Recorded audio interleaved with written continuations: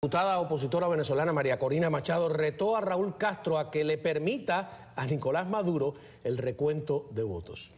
Las duras palabras de María Corina se produjeron en momentos en que Maduro anunció que reforzará su alianza con los Castro. Rolando Nápoles está con nosotros. Gracias. Y este reto de María Corina a Raúl Castro también ocurre en momentos en que tanto Caracas como La Habana anunciaron que los médicos cubanos no se van de Venezuela. Señor Raúl Castro, dele permiso a Nicolás Maduro a contar los votos, que es lo que queremos todos los venezolanos. Contemos Así los retó votos. la diputada opositora ¿Por qué no lo venezolana? María Corina Machado ¿Saben a Raúl Castro. Lo hizo al cuestionar al proclamado gobernante Nicolás Maduro.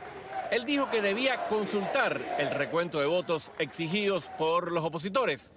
No reveló a quién, pero la oposición venezolana dice que es Raúl Castro. Pero si el propio Nicolás Maduro aceptó contar los votos, ¿por qué no lo cuentan ahora? ¿Por qué se retractó?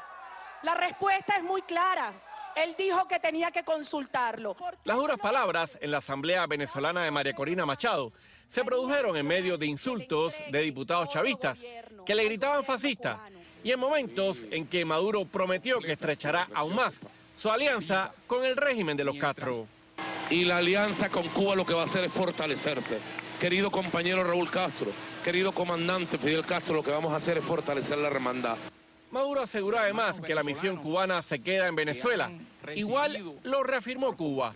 El régimen dijo que su personal médico en ese país trabaja normalmente y que ninguno fue lesionado en los ataques que según Caracas y La Habana habrían hecho partidarios de Enrique Capriles a ocho centros médicos donde laboran los cubanos.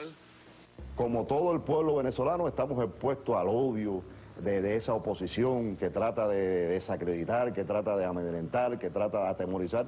Y máximo nosotros los, los cubanos, ellos siempre han tenido una política contra Cuba.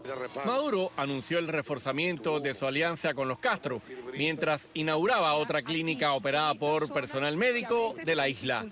Así celebraba 10 años de la misión médica Barrio Adentro.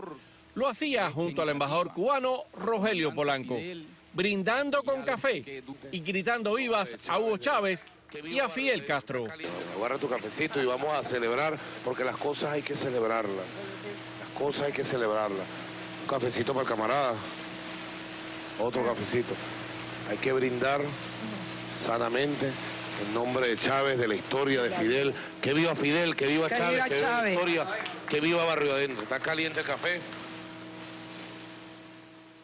Bueno, por cierto, en momentos en que muchos cubanos critican el severo deterioro de los centros médicos en la isla, el jefe de la misión cubana en territorio venezolano reveló que La Habana invirtió unos 100 mil dólares en esa clínica inaugurada por Maduro y por el embajador cubano.